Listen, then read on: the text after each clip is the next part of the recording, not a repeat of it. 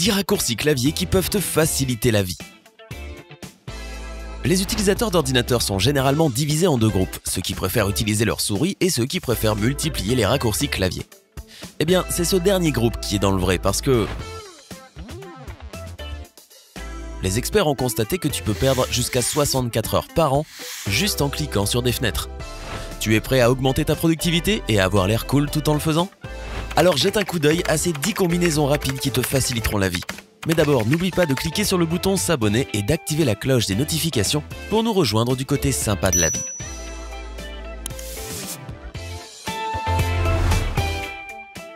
Numéro 1. Refaire. Je pense qu'on est tous d'accord pour dire que le bouton annuler ou la commande clavier CTRL plus Z devrait figurer parmi la liste des meilleures choses jamais créées. Mais les génies de l'informatique ne s'arrêtent pas là. Ils ont aussi pensé à faire l'inverse, qui est tout aussi utile. La prochaine fois que tu auras besoin de refaire quelque chose que tu as annulé accidentellement, appuie simplement sur CTRL plus Y sur Windows ou majuscule plus commande plus Z sur Mac et continue ton travail comme si de rien n'était.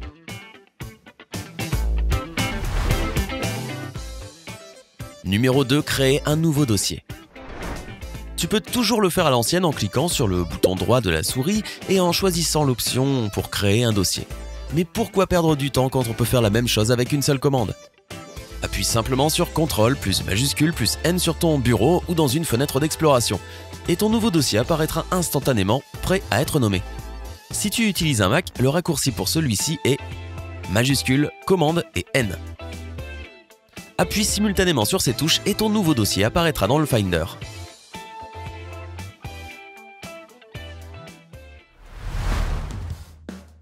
Numéro 3. Supprimer complètement des fichiers. Comment effaces-tu habituellement un fichier? Tu cliques dessus et appuies sur supprimer ou tu le prends et le glisses toi-même dans la corbeille. D'une façon ou d'une autre, il ira toujours au même endroit, où il restera probablement pendant une éternité, jusqu'à ce que tu décides de vider la corbeille de recyclage.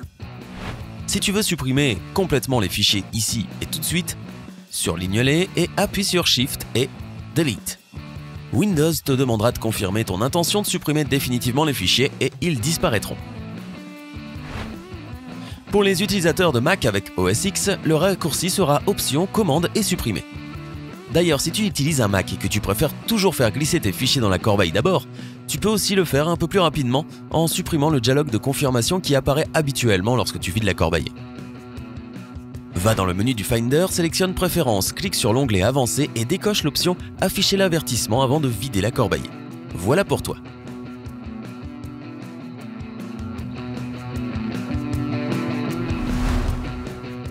Numéro 4. Le clavier emoji.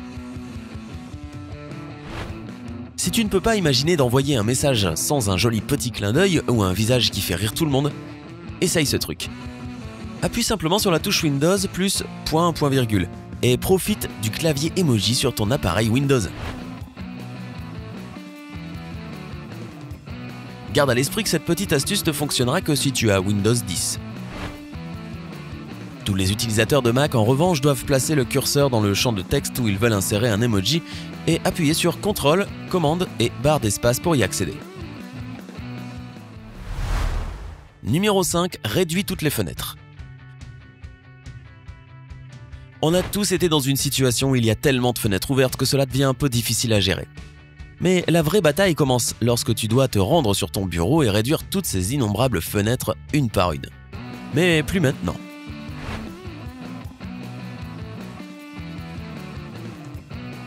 Tout ce que tu as à faire, c'est d'appuyer sur la touche du logo Windows et M, ou commande Option et M pour Mac. Et voilà. Ton chemin est maintenant libre.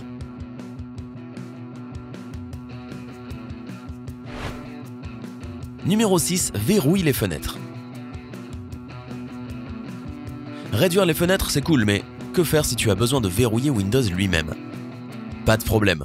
Appuie sur la touche du logo Windows et la lettre L fera l'affaire. Pour reprendre, tu dois entrer ton mot de passe Windows si tu en as un. Les utilisateurs de Mac peuvent également profiter de cette fonction en appuyant simultanément sur les touches CTRL, commande et Q.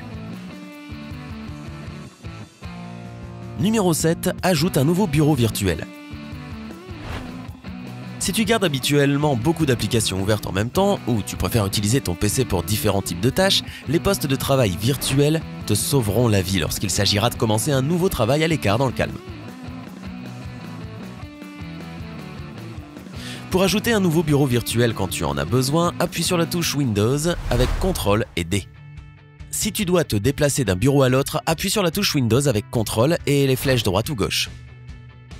Et pour fermer définitivement le bureau virtuel actuel, ce sera la touche Windows, CTRL et F4. Cependant, tu n'auras accès à toute cette commodité que si tu utilises Windows 10.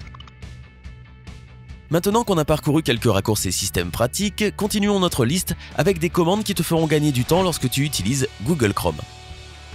Numéro 8. Ouvre Chrome en mode incognito.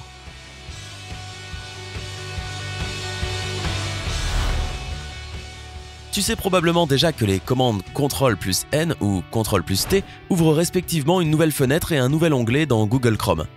Mais que faire si tu as besoin du mode incognito? Eh bien appuie simplement sur CTRL majuscule et N pour gagner du temps. Si tu es sur Mac, ce sera commande majuscule et N pour toi.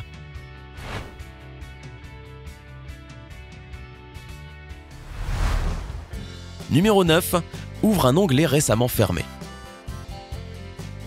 Ne t'inquiète pas, si tu as fermé un onglet important par erreur, Google Chrome est là pour toi. Tout ce que tu as à faire, c'est d'appuyer sur CTRL, SHIFT et T, et cet onglet reviendra tout de suite. Chrome se souvient des 10 derniers onglets que tu as fermés, donc à chaque fois que tu utilises cette commande, ton navigateur va continuer à les récupérer à partir de cette banque. Les utilisateurs Mac peuvent accéder à la même fonction en appuyant sur Commande, majuscule et T. Numéro 10. Ouvre des liens dans un nouvel onglet sans aller dans cet onglet. Cela peut paraître compliqué, je sais, mais permets-moi de t'expliquer. Tu sais, c'est comme quand tu utilises Google pour rechercher quelque chose. Tu cliques sur un résultat de recherche et il s'ouvre directement dans un nouvel onglet. Mais quand tu as besoin d'ouvrir plus de résultats de ta recherche, tu dois constamment revenir à la page d'origine. Au lieu de tous ces inconvénients et pertes de temps, maintiens simplement la touche CTRL enfoncée tout en cliquant sur les liens dont tu as besoin. Ce simple raccourci t'aidera à rester sur la page de recherche tout en ouvrant les résultats dont tu as besoin dans des onglets différents. Et cette méthode est à peu près universelle pour n'importe quel lien sur lequel tu cliques dans Google Chrome. Pour les utilisateurs de Mac, le raccourci Aléa consiste à appuyer sur la touche commande tout en cliquant sur les différents liens.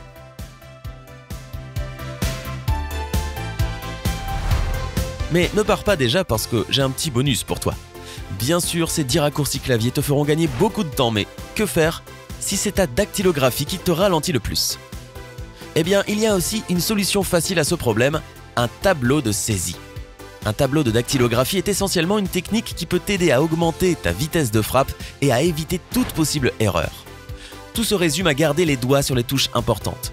Pour ta main gauche, les touches importantes sont Q, S, D et F.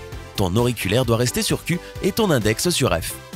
Quant à ta main droite, ce sera le J, K, L et M avec ton petit doigt sur le M et ton index sur le J. Si tu places tes doigts exactement comme ça, il te sera beaucoup plus facile d'atteindre toutes les touches nécessaires sur le tableau.